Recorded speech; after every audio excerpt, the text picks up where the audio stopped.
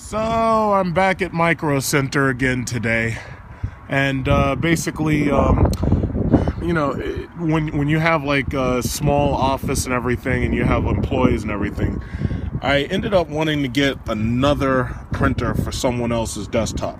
The last time I did one of these reviews on one of these printers I bought, I bought um, a Hewlett Packard 4630. Now, since I already have like three fax machines and I already have a couple of printers, what I did was I bought a printer scanner that didn't have a fax machine. So this is the Envy 4500.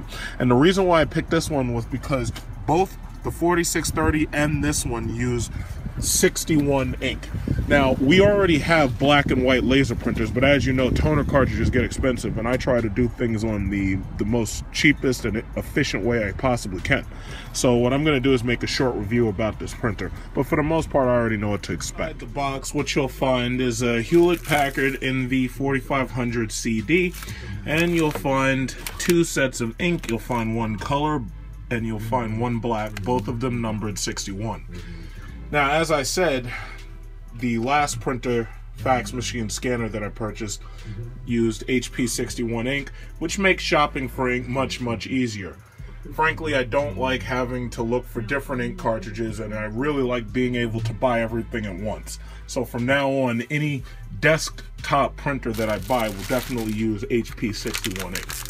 So, as for the CD, installation is pretty straightforward. You put the CD in the drive, the computer reads it, blah, blah, blah. It goes really quickly. Some computers already have the drivers to auto set up these printers and they will do it themselves. However, if your computer doesn't have it because it's an older Windows XP or Windows 7, you just go on the Hewlett Packard website and you can download the entire full feature driver and it's like 145 megabytes tops. And all of the software will be automatically downloaded. So if you have a netbook that doesn't have a CD drive, that's pretty much going to be what you're going to have to this do. This computer has Wi-Fi built in. That means that um, you can easily print off of your Galaxy phone or your iPhone. I only use iPhones. So um, once it's all plugged up and turned on, basically you open up the top of this to reveal the scanner bed and then on the side you open it up a second time in order to reveal the cartridge bay. The cartridge bay, all you got to do is you uh, take out the garbage or the plastic protectors and right here you have access just like the 4630 to the color and the black cartridge holders. Now, it's absolutely amazing how much of these damn things is made of plastic now. And um, I've noticed a, I've noticed a, a serious downgrade in quality of uh, printers since everything started being made in China. And uh, there's no way around it because they've everybody's basically started making everything in China, and um, everything's plastic. The sad thing about it is, if parts of your machine break down, you can't simply you can't simply just fix a part it, it would take you so much time and energy to fix parts until you'd be better off just buying a whole nother printer. And that makes me feel like an American consumer, a brain dead American consumer. And uh, I don't like feeling that way, but there's no way around it, especially if you're trying to run a small business, you know? This section right here, just in case paper gets trapped or lodged in the gears, this section right here has a pull switch where you can take that section out and reveal the paper just in case there's a jam. So that's what that's for, just in case you were wondering. And it's relatively easy to fix HP printers. They're actually made very intelligently. I just wish they had higher quality materials. So now that I've just installed the cartridges, it takes about 10 seconds. Now I can go to the setup section. So right here you have the setup. It's very straightforward. Um, you just push basically up and down to set for English. And then right after that, yes, I do want English. And then you say USA, USA. Yes, it's got less to set up because there's no fax machine in this model. But to tell you the truth, if you really want one of these things and you definitely need a fax machine, the 4630 at $100 really isn't that much more. So, I mean, you might as well, you know? I just definitely didn't need it because I already have a couple fax machines, so I really didn't need it. Okay, yes, genuine HP ink is installed, yes. Now it's asking me to load paper so that it can print a test page and align itself. One thing that I don't like about these printers is that they don't really have a long tray. What they do have is they have this this plastic slide rule which is basically supposed to support the paper when you put it in. And I wasn't I wasn't really happy with that, but it's like that's just a design. So you just got to deal with it if you buy one of these models. So basically you put the paper in and then you print a test page.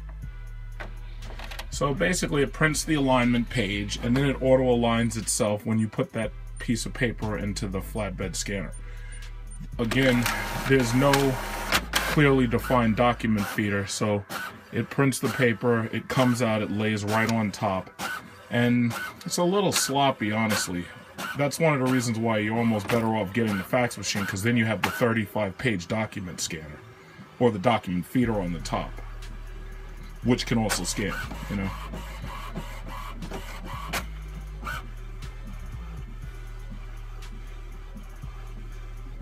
Yeah so that you know the alignment page doesn't take very long but um, this this whole process probably takes about five minutes worth of setup most of you have already seen this, so unless you have a very specific question that you can add to the comment section, which I'll I'll answer for you, you know, basically you've already seen alignments.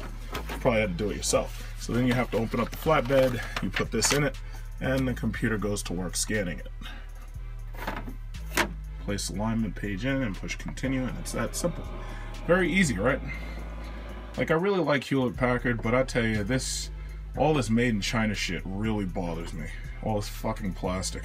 And I do understand that you're saving money in shipping costs, and you're also um, saving the consumer money. But to tell you the God's honest truth, I'd rather pay slightly more for better quality. Unfortunately, right now, you don't really have that choice. Alignment is successful. You push OK to continue, and then you continue to set the system up on the computer. So um, it asks you, do you want to set up uh, wireless? You don't have to do it now. You could connect this computer directly via Wi-Fi, or you can connect it to the computer with USB. Either way, you still have full access to it if you have a cell phone or whatever. And if you buy a bunch of these, or if you buy two of these, or even one of these in your house, everybody in the house will have access to it. So, you know, you'll definitely want to keep a lot of paper in it, which brings me back to the fact that I'm not very happy with this document holder because if you have a printer like this where people in your household could print at any given time, what you definitely want is you want to be able to hold a lot of paper, a decent amount of ink, and you want to make it very convenient for anybody to simply locate it on your network and start printing right away. So, you know, whether it's travel directions or airplane tickets, whatever, you want them to be able to do it as quickly as possible and as easily as possible with no hassle. So um, a better document feeder for this one would definitely be something that would have gotten it a higher score from me. After setting this printer's Wi-Fi up to the network, everything's ready to go and it's ready to start printing as soon as you um, ask it to print. Accept terms? Yeah, I guess so. I guess you ain't got no choice. Printer can automatically download and install any or an available update. Turn on auto update. Why not? That's actually pretty good that these uh, Wi-Fi devices have that ability to automatically install new software. But for the most part, there's not a whole lot of new software that's going to come down the pipeline for a printer. It is good that they can do it. It's just like, you know, it, it, it gives you reassurance that you have a good product, I guess. So the uh, Wi-Fi's signaling process typically seems to take about 10 seconds. So it sends information, 10 seconds later it starts downloading information, another 10 seconds later it's ready to start doing the next thing. So that's pretty good, right? Oh, it needs some paper. slide in a piece of paper once. This would actually be good that if a printer could automatically print out coupons for you. That might actually make you more likely to actually go out and buy stuff for your printer because you're being reminded. It says pull out paper tray, load paper. All right, put it put it one sheet of paper. Here you go. Go ahead. Go have at it. Have at it. Let's do it. Now print. Come on. there's a lot of thinking that goes on. It's too bad these things aren't a little bit faster, but you know.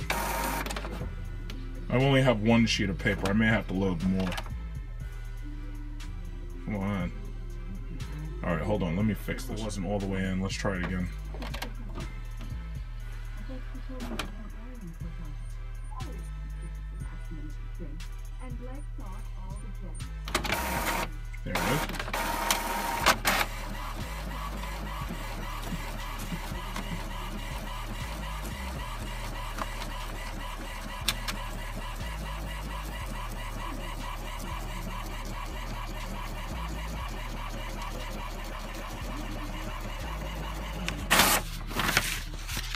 The most of your printer. Sign up with HP Connected, blah, blah, blah. If you are setting up the printer for the first time, please continue to set up process and increase your moves. Okay, and that's basically it for right now. Um, it does say sign up required. It tells you that web services have been enabled. Good, okay. Install software, okay. I'll take care of that. And now you're ready to copy, scan, or print whatever you got. If you have any direct questions, just leave it in the comment box and I'll get back to it when I get back to it. But I'm usually pretty quick. Since the printer companies like HP, Canon, Epson, and Lexmark, since they know that most Americans can barely read or aren't very tech savvy, they've basically made it so all you have to do is pop the CD in the drive tray and it'll pretty much do everything itself. There's really no thinking required. All you have to do is just push the next button. Everything takes care of itself. So within 10 minutes, your wireless network printer is set up. And um, there's pretty much no real issues. If you want to connect it using USB, all you got to do is take a USB wire, plug it in, and you're ready to rock in less than five minutes. So basically, I'm uh, printing just one picture, just so you can get a good idea about the print quality. But pretty much all of HP's technology pretty much does um, reasonably similar jobs and whatnot. So, um, this will be the last part of my video. You know, the this, these flatbed copiers, everybody pretty much knows. These things really come in handy when you have to, like, make copies of uh, legal documents or whatnot. So, you know, you shouldn't buy a printer without a flatbed, but pretty much all of them have it now. It's the best thing that ever happened to printers.